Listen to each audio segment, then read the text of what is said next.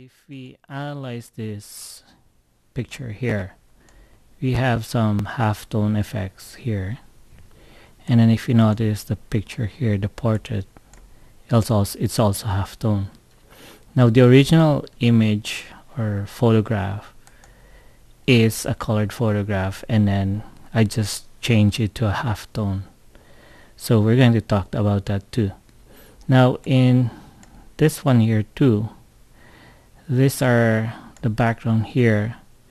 It has a transparency and we also use a, a halftone uh, circles here. Uh, anyway we're going to talk about that later. So the original image here is this one here. Okay so now if we compare that here so the first thing we have to do here is to make this image as a grayscale image. So first you go to bitmap and then click on convert to bitmap. And then in here um, the resolution since we're doing it half tone and we don't want it to be really high resolution uh, 96 dpi would be fine. Uh, keep it 96 dpi and uh, make it grayscale 8-bit.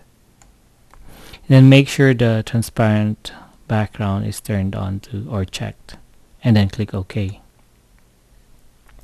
Now we have a a grayscale image here.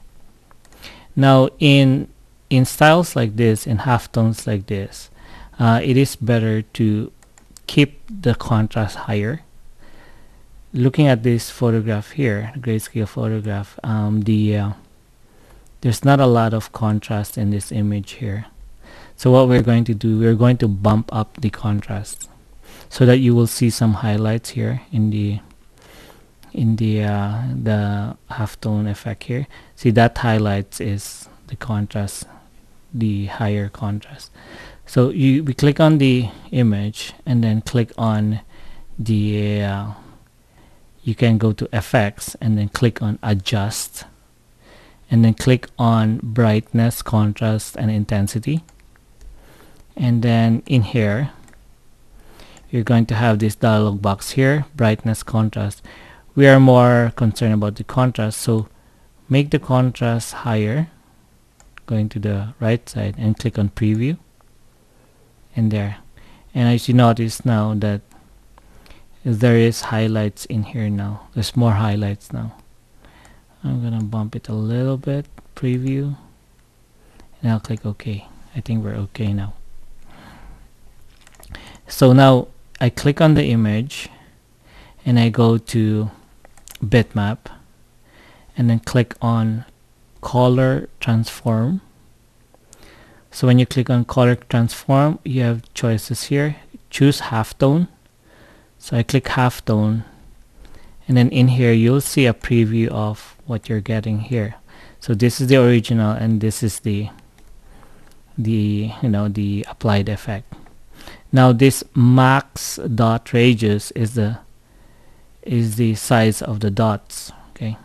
Now if you want to zoom in zoom out here you go to the the center and then you scroll down scroll up and scroll down to zoom in. Okay. So now I'm going to make it let's try to go 8 first and click on preview. Okay so I'm just gonna zoom in. So I click here and then preview again. Okay so looking at this we're gonna compare it to the original one. Uh, the the dots is a little bit too big so I'll make it 7 here and I click on preview. Okay it's getting there. I'll try 6 here preview. Okay. Uh, let's try 5 okay so I think 5 is fine. So if I'm if you're happy with that one like I'm happy with that so I'll click on click OK. Now I have this halftone image now now if you notice the original is the original uh, the color of the dots is kind of orangey okay? So now what we're gonna do is we're going to click on the the halftone image here that we already applied the effect. And then since it's grayscale we can't really change the color to a different color because it's grayscale. So what we're going to do is we're going to make this back to bitmap RGB so you click on this go to bitmap convert to bitmap again. But this time instead of grayscale we bring it back to RGB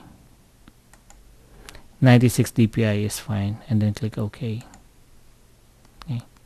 So now we have a an RGB uh, bitmap. Okay so I click on the bitmap again and then click on effects. This time we go effects and click on adjust and we're going to replace color.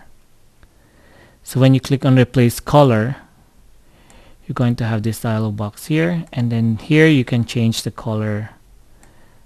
Uh, let's say let's just try green and then click on preview. And you notice it changes right? Change it to blue click on preview changes.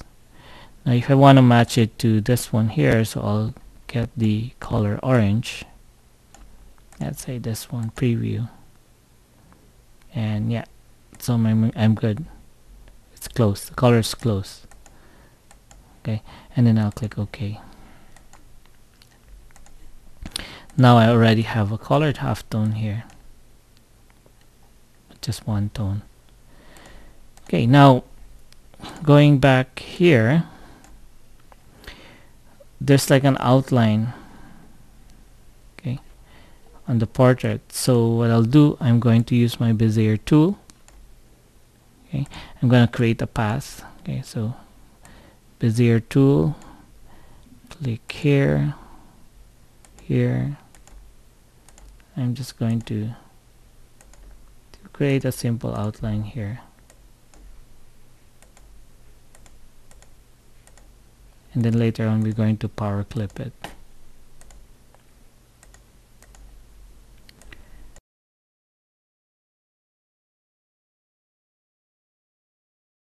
and then I can close it. Close. There. I'm just gonna do some adjustment here like this one here. I'm going to see if you want to delete uh, a node here just double click on it and it will be deleted. And I'm just gonna make this straight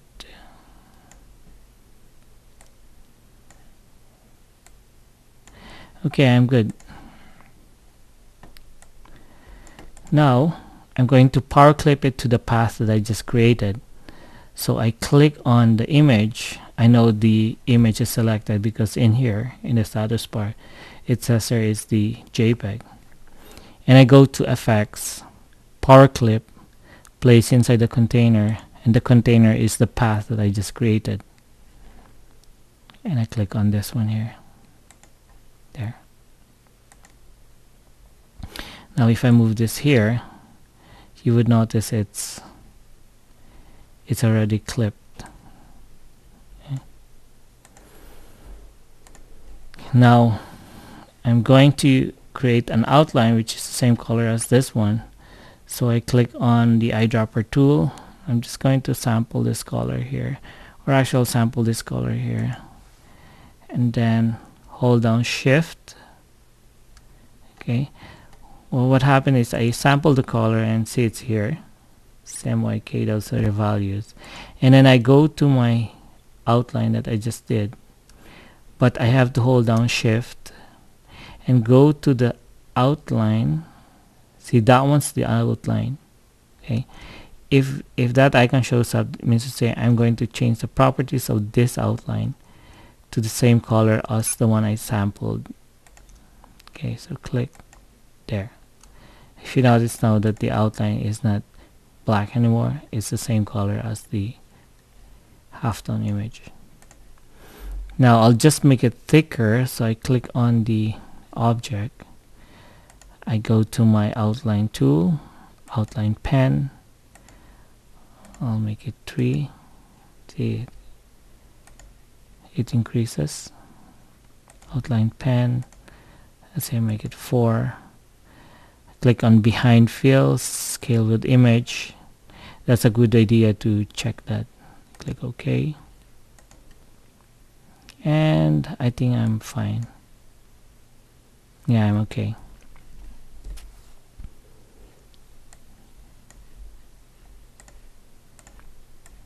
okay okay now we're done with the portrait. Now we're going to uh, we're going to do the the background here. So if I click on this object here I know it's a square because if you look at the property bar here the width and the height is the same so it's a square. Now to create a square you go to your rectangular tool or F6 and if you want a perfect square you hold on control and then click and drag. So that will create a perfect square. Okay. now if you also notice uh, the the uh, the corners here is rounded corners. So what you do when you click on your square you go to your shape tool. So once you click on the shape tool this one becomes highlighted or it becomes dark. So you just click that and drag it to the right okay. And you can set the so you can set the uh, the radius. Okay let's say I'm happy with that. Okay. So now I've got this square. What I'm going to do first is I'm going to move this portrait over to the left side and we're going to insert that later because we're just concerned about the background first so I click this square which is with a radius corner. What I'll do I'll copy that and just keep it in the clipboard because later on we're going to put a border all around the the artwork. So I click on the the square and I go to copy or control C. Okay. Then I'll just leave it there in the clipboard. Now looking at this one here uh, it has like a, a path curved path. So what I'll do I'm going to go to my Bezier tool click here and then click over here. Okay. Now it has a radius uh, yeah it, it's a curve. So I click on my line that I created go to my shape tool click on the center here of the segment and I go to my convert line to curve so once you convert line to curve you're gonna have these two arrows or what you do you can click and then reshape or shape the shape it with the arrows there. Okay? So I'm fine with that. Now what I'm going to do I'm going to put a smart fill click on smart fill and I'm going to click on this area here so that I can get the shape because that's the shape that I wanted. Then I can delete this line. Okay. So I click on this. Oh. What I'll do I'll just sample this color here.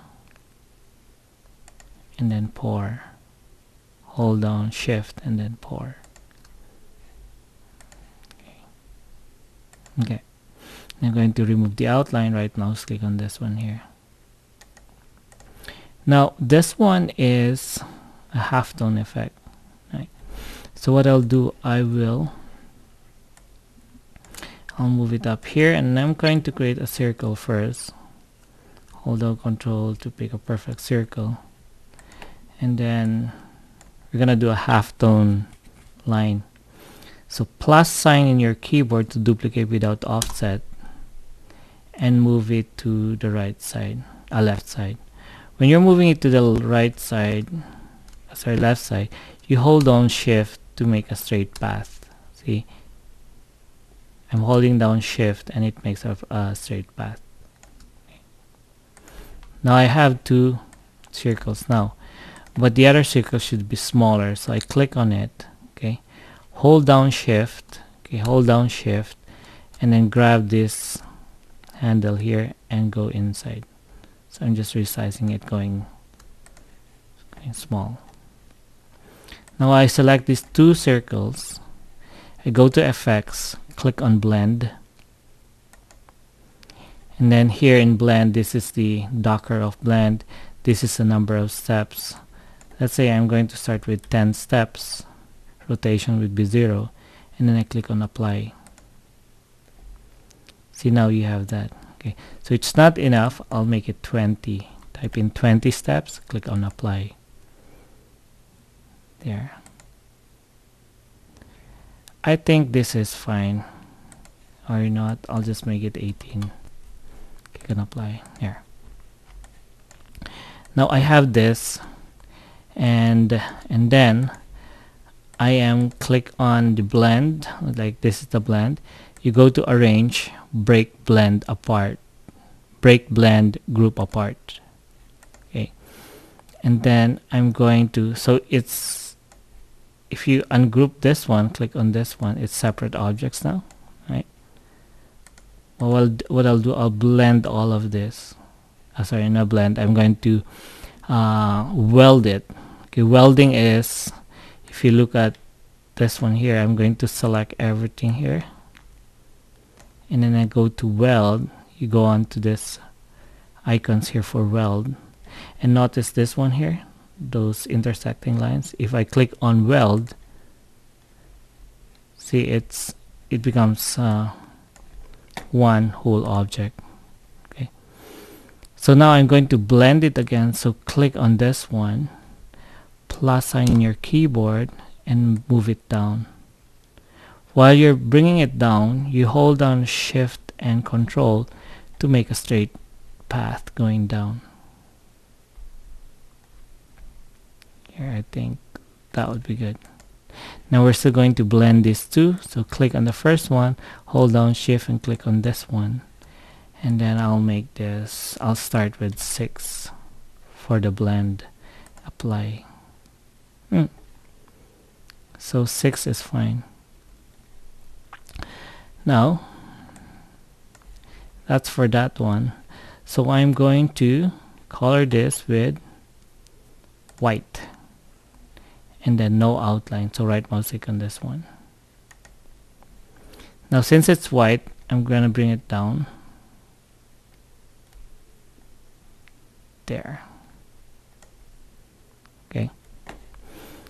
Now what I did here is I made a a, uh, a transparency. So I click on the white dots go to your interactive transparency tool and then I'm going to make it uniform. So it's uniform.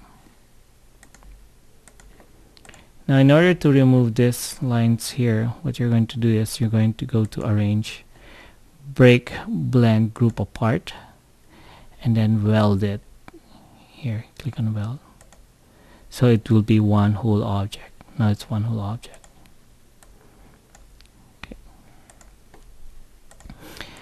Now now I'm going to power clip this white dots inside this this object here. And this this object here. Okay. So I click on the white dots. Okay. I know that's a white dots because here in the status bar it says white so that's my dots. And then I go to effects power clip placed inside a container. And my container is this one here. There. So it's already inside the container. If I move this one here it's inside the container the white dots. I'm gonna undo that. Here. Now I'm I'm done with that effect. Now the second effect is the this one here the background. The one with the swirl. Okay. Now for the swirl I'm going to zoom out here. So I click on my Bezier tool click let's say somewhere here and then I click here. So that's my line okay? I'm gonna make it a curve. So click on my shape tool click on the segment and then convert line to curve. And then I'm going to make it swirl. As a let's say that one. Okay. So that's good. Now here what I'll do I'll gonna close this first. I click on this line that I just made and I go to arrange transformation and I'm going to go rotate. Okay. Now let's see this one here. So I click on uh, transformation then this docker will show up okay? Now the next thing I have to do is I'm going to change the rotation pin okay? So where do you get the rotation pin? If I click on the line and click one more time this one is the rotation pin I'm going to put that into the center here I mean the endpoint of this one here. So I click that. Okay. So I have the change already. So now here the angle let's say I go 12 degrees or yeah I go 12 degrees. Okay. And then you click on apply to duplicate. Okay. There. Apply to duplicate until you finish the the curve there. So I have that now. And what I'll do I'm going to put a go to my smart fill. And I'm going to click on this for the alternate uh, for the alternate design. Here and there there. Here and the last one. Now I zoom out here. So I don't need I don't need the lines anymore. So I'm just going to delete all of these. Here I can finish deleting it. So now I'm going to select this swirly thing this one here. So I make a crossing window and I'm going to first remove the outline by right mouse click on this one and I go to my my fill here. I go fountain fill. Okay. So I'm going to go instead of linear I'm going to go radial. Okay. So now I'll start with orange. And then I'll make this say light yellow. And then click OK here. There. That looks good. I like that okay now we're I'm done with that. Okay so now what we're going to do is this circle here. Okay so we already have the portrait and then we already have the background here. So the the only two things that we have to do is we're going to do the text here and also this background here okay if you notice the background has transparency in it. Okay. now the background this one is also the same concept as this swirl here. So first I'm going to create a circle. Click on ellipse tool. Hold down control to make a perfect circle. And then uh, I am going to duplicate this so plus sign your keyboard. So those are two objects already on top of each other. Then before dragging it to the right side hold down control and then drag it to the right. And then make this smaller okay? Hold down shift and then resize so that we go to the center okay? And I'm going to select this two and then go to effects blend I'm going to blend that those two. So I'm gonna start with 10 this is the steps number of steps and then click on apply. And uh, I think I have to make it 12 here. Click on apply. Or maybe uh, say 15 click on apply. Okay I'll leave it by 12 then click on apply. Okay so remember we checked this one and it's also transparent. So what we'll do we're going to make that transparent too. So I'm going to select the blended object and then click on this magenta here. And then remove the outline by right mouse click on this icon here. So I have no outline there. Okay I can resize that. And then I can do transparency. So click on your interactive transparency tool which is this one and you go here click on uniform. There. You notice it is a transparent objects already. Now we're going to uh, rotate this with a duplicate. So I go to my arrange transformation click on rotation. Okay. Remember the rotation center we have to change it before doing the uh, rotation. So I click one more time and this one show up shows up. So that's the center of rotation. I move it to the very first circle that I did the bigger circle. Okay? So that once it's rotate the center would be in here. Okay so I'm going to put uh, I'm going to start with 10 angle and then click on apply to duplicate okay that sounds that looks good. Uh, I'm gonna do first I'll make it let's say I make it 6 degrees and click on apply to duplicate. Yeah that's more interesting I think. So I click on apply to duplicate until I, I complete the whole turn. So it's a very very nice design once you play around with the transparency and then until it closes and now that will close. Okay I'm just gonna do that last. Okay very nice. Now I'm gonna group this. Control G or click on this icon here. I'm going to close this docker here. Okay. I'm going to move it to the center here okay now we didn't really made exactly the same but that's okay. So I'm going to move it here that's the background right? And then I'm going to duplicate this plus sign your keyboard. And I'm going to move it to the left side. Then I can color it with a different color let's say orange. Maybe red.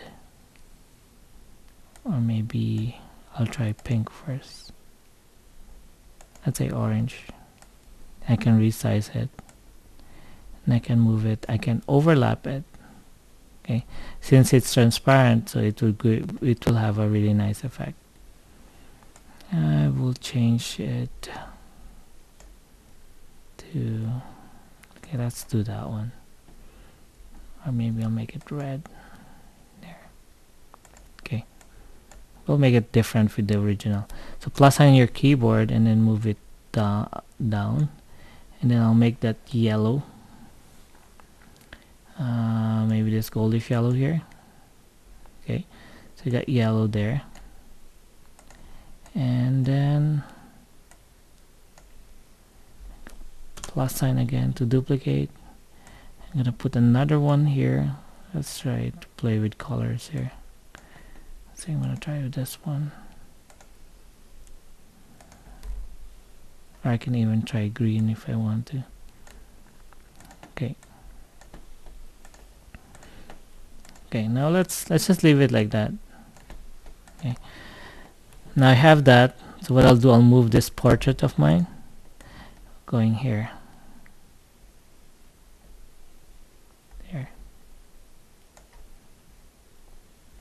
I'm going to move that to front to arrange order to front of page.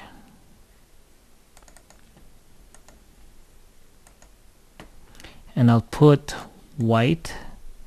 I'm going to fill it with white because now it's transparent right? The power clip is transparent. So if I go to my white here it will make it opaque and then I'll put this one to front. So arrange order to front of page. Yeah I'm just going to do some adjustments here. The outline I'm going to make it thicker. Uh, okay the current one I can make it 8 points. There. I'll do it. I'm gonna change it to 10 points. Okay okay. Now I have this. I can move it around. Okay so okay now the the last thing to do is the font or the text. So you type in summer enter and then heat. Okay. so I have this text here and the font is uh, Brook 23 that's the font that I used. And uh, okay to separate that I go to arrange break artistic text apart. So these are two texts now. Going to move it here. And I'm going to move this here okay so now it's the we're gonna change the the font color to this one here. And if you notice there's no outline in here there is. So we go to your outline tool and then you go to outline pen. Okay let's try eight points with white outline and behind fill it's best to check this too and then click OK. Okay that looks good. And we're going to do it the same with this one here. Now if you want to have the same properties as this one okay you you click on this text heat right? And then you click on edit. You go to copy properties from. So we're going to copy the property of the outline pen of this the outline color just white the fill and uh, no need for text properties because this one is the same font as that one already. And then click OK. And then this one will show up and then it will has an arrow. So just click on this one because we're copying that property. And see it automatically copies the properties of the outline pen and the outline color. Okay. Now we are almost there. So you click on this one. You see there's like a hard drop shadow here which is a white. Okay. So to do that you click on this. And then you copy it. So plus on your keyboard.